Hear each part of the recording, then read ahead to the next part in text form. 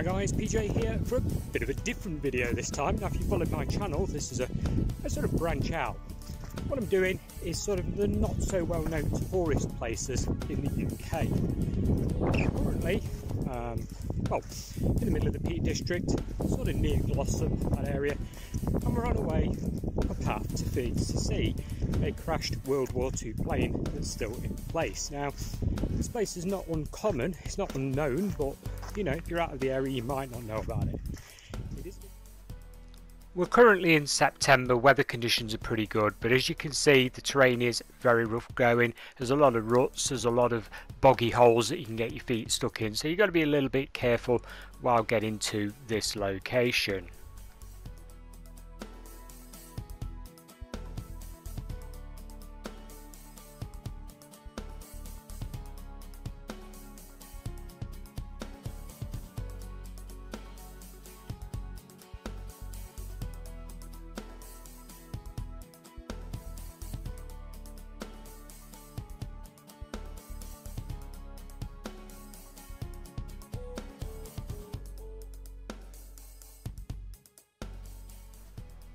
Quick update for you guys. We're currently on our way up the hillside. As you can see, the path has disappeared completely and it's a lot harder going from this point on. In fact, it's quite the workout to be honest with you getting to this exact location.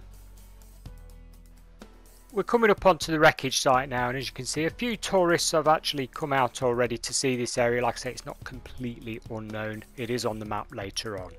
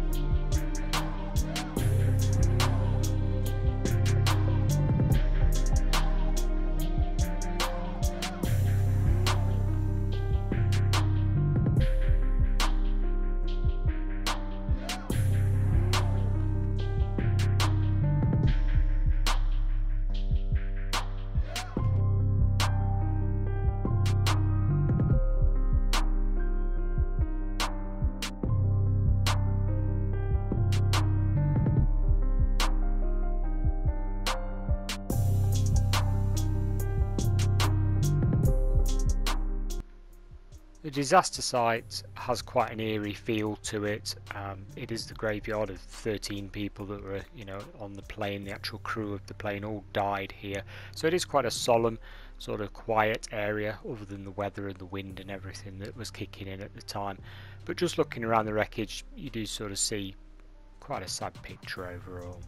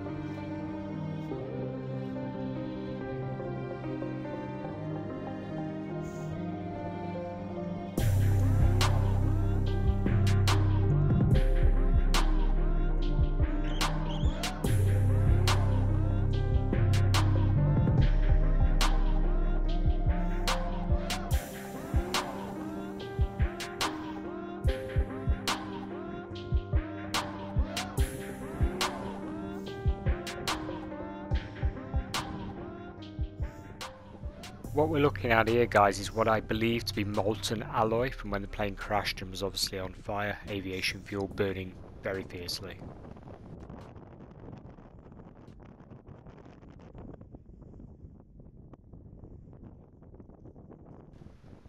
A lot of carvings in the rocks over the years. The oldest one I actually saw was 1871, but there was a lot of years gone by where people had inscribed different things into the rocks near the crash site. Quite an interesting sort of history storyboard, if you like.